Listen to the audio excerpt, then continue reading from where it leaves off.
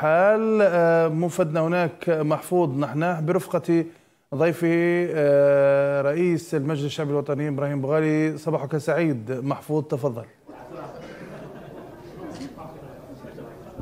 صباح الخير زميلي رضا صباح الخير مشاهدي قناة النهار في هذا الوطن. نحن الآن متواجدون من مباشرة من المركز الدولي للمؤتمرات. عبد اللطيف رحال لحضور وتغطية أشغال الجمعية العامة العادية للمجلس الأعلى للشباب ويحضر معنا الآن على المباشر رئيس المجلس الشعبي الوطني السيد إبراهيم بوغالي. لنتحدث أكثر حول الخطاب التاريخي للأمة الذي وجهه رئيس الجمهورية عبد المجيد تبون بالأمس. أمام غرفتي البرلمان مجتمعتين. صباح الخير سيد رئيس خير. تحياتنا الصباحية. بسم الله الرحمن الرحيم والصلاة والسلام على رسول الله. فيما يخص خطاب السيد رئيس الجمهورية أمس ب لو بالي دي ناسيون قصر الأمم كان أنا نحطه في خانة خطاب إرجاع الأمل للجزائريين. السيد الرئيس كان كان صريح جدا وكان يتكلم من قلبه و... وكان يتكلم بكل الصراحة وبكل الشفافية التامة لأنه في عدة في عدة مرات كان كان يحط الخطاب تاعو المكتوب وكان يتكلم بقلبه وكان يتكلم بقلبه ولأول مرة ولأول مرة رئيس يعطينا واقع الطريق نتاعو في خاصة في الاقتصاد لأن كنا إحنا نعانيو في الماضي كنا نروحوا نتلاقاو مع زملاء في البرلمانات أخرى أجنبية. كانت عندهم نظرة واضحة على الاقتصاد تاعهم. يتكلم لك بالأرقام يتكلم لك بالتوجه تاعهم يتكلم لك بالسياسة الاقتصادية. لكن في الجزائر كانت ضبابية كاملة. اليوم أصبحت عندنا نظرة أوضح نظرة شفافة. تتكلم على استغلال المناجم تتكلم على فتح خطوط جوية لخاصة الدول الإفريقية اللي عندنا علاقات علاقات تاريخية معهم. هل يعقل في 2023 نروحوا إلى جنوب أفريقيا ونمشيو نمشيو عن طريق دولة أوروبية. هل يعقل نروحوا لأديس أبيبا عن طريق دول هذا هذا شيء غير مقبول وهذا التوجه الصحيح. باش باش نقويو الاقتصاد تاعنا يلزم اولا تكون عندنا شبكات شبكات نقل واسعة في عدة دول خاصة الدول اللي عندنا عندنا علاقات اقتصادية وتاريخية معهم. كذلك إحنا كذلك كان فتح خطوط حتى إلى أمريكا اللاتينية. هذا هو التوجه الصحيح وهذا هو التوجه الذي نحن ندعموه. كذلك في الاقتصاد تكلم على على كيف في بعض القطاعات كما الصناعة الصيدلانية وصلنا إلى 70% من اكتفاء الحاجيات تاع تاع البلاد. السيراميك نفس الشيء. كيقول باللي أنا نغلق الاستيراد عنده الحق يغلق الاستيراد. إحنا باش نشجعوا المستثمرين الجزائريين وعندنا المستثمرين في المستوى ومستثمرين مخلصين ويحبوا هذه البلاد. دوك وعندنا عدة قطاعات اللي قادرين ثاني نعول عليها. قطاع السياحة قطاع بالك الإنتاج طمو قطاع الإنتاج في الفلاحه كذلك إنتاج زيت الزيتون إلى غير ذلك. قطاعات اللي راح تنسينا بالك في الاراده واش رانا نجيبوه؟ من غاز والبترول. ونزيدوا نقولوا كلمة ثاني في صديق كلمة حق. لأن هذه يمكن الثروات اللي حبانا الله بها هي ماهيش ماهيش رزقنا إحنا. لازم نخموا في الأجيال الصاعدة.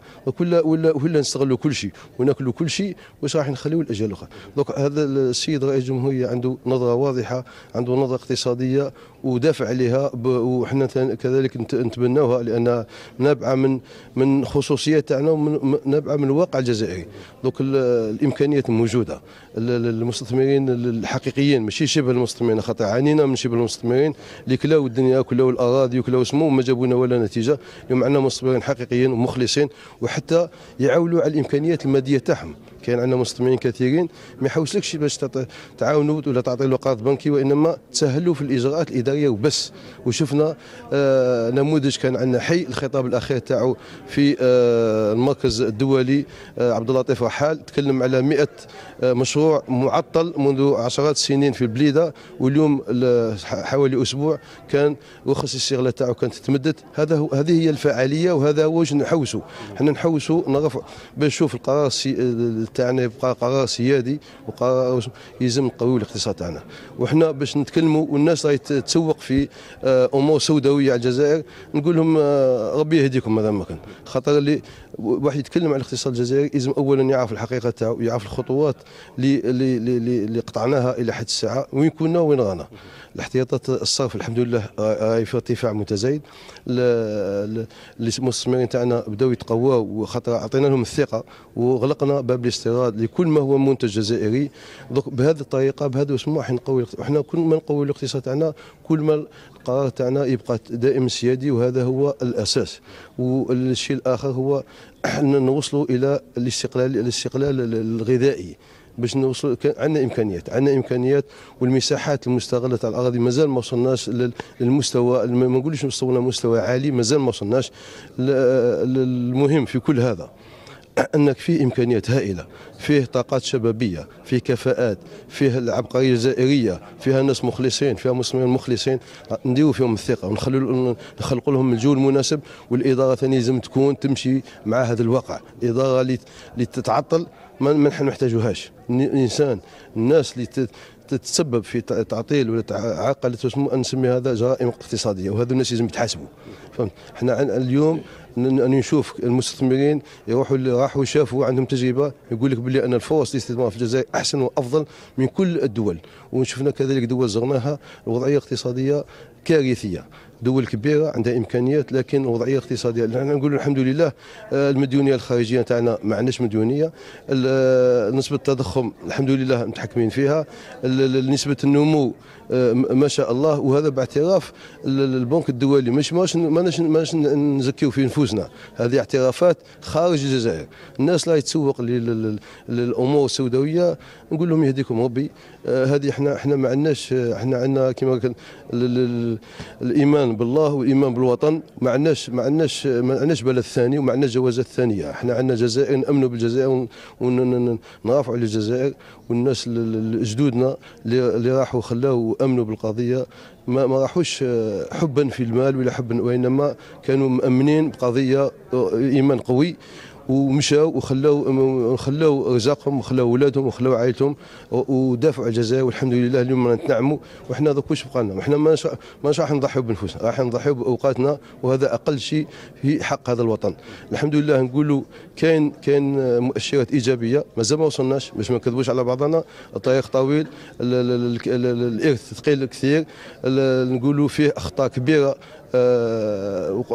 في التسيير مسجلة مسجلة على الأسبوع لكن إحنا هل نبقاو دائما نبقاو غير نشخصوا ولا عندنا القدرة باش آه، باش باش نحسن هذا الوضع وباش نعطي الأمل ونقول الخطاب تاع أمس كان آه، كان يعطي أمل كبير للشباب وهذه فرصة للشباب وهذا ماشي شعارات. خاطر إحنا من الاستقلال إحنا نتكلم مع الشباب الشباب اليوم اليوم كاين فرص متاحة كاين مؤسسات شبانية وحنا كذلك اليوم وبالمناسبه راح يكون في انتخاب على مستوى المجلس الشعبي الوطني لإنشاء شبكة البرلمانيين الشباب أقل من 40 سنة. هذه ثاني باش نعطوا لهم فرصة ثانية باش يكون في احتكاك يكون في تبادل اولا باش يوصلوا رسالة تاعهم داخل الوطن ويكون في احتكاك وتبادل حتى في البرلمانات الدولية لأن كل برلمانات عندها عندها شبكة شباب. وحنا كذلك اليوم وبالمناسبة راح راح يكون انتخاب وإنشاء شبكة البرلمانيين الشباب في الجزائر. هذه من جهة. ثانية حتى على المستوى كي نقول لكم القرار يبقى قرار سيادي وقرار حتى في القضية الدولية. إحنا الجزائر لا لا تحيد عن مبادئها عندنا مواقف ثابته في السياسة الخارجية. والحمد لله دافعنا كل على كل القضايا العادلة وعلى رأسها القضية الفلسطينية. وزاد الحاجة الإيجابية اللي زاد زاد أضافها السيد رئيس الجمهورية لقى الامتداد التاريخي للقضية هذه. القضية هذه ماهيش وليده اليوم وإنما عندها عندها امتداد وربطها بمعطيات تاريخية. وهذه اللي زادت زادت زادت إضافة علاه الجزائريين مأمنين وثابتين على مواقفهم. وقال المقولة الشهيرة للسيد رئيس الراحل هوي بومدين نحن مع فلسطين ظالمة ولا مظلومة. اليوم وغدا دائما إن شاء الله ما نحيدوش وأنا نقول الخطاب كان خطاب أمل خطاب إعطاء الثقة للشباب إعطاء الفرصة للناس النزهاء للناس الخيرين وما أكثرهم في هذه البلاد. وإن شاء الله نتمنى كل خير وكل ازدهار لبلادنا إن شاء الله. وبارك الله فيكم. شكرا. سيد الرئيس كان معنا قبل قليل رئيس المجلس الشعبي الوطني سيد إبراهيم بوغالي. تحدث حول الخطاب التاريخي الذي ألقاه رئيس الجمهورية عبد المجيد تبون بالأمس في قصر الأمم أمام نواب البرلمان بغرفتيه مجلس الأمة وكذلك المجلس الشعبي الوطني. إليك الخط زميلي رضا. شكرا جزيلا لك محفوظ نحن موفد تلفزيون النهار إلى قصر المؤتمرات. طبعا.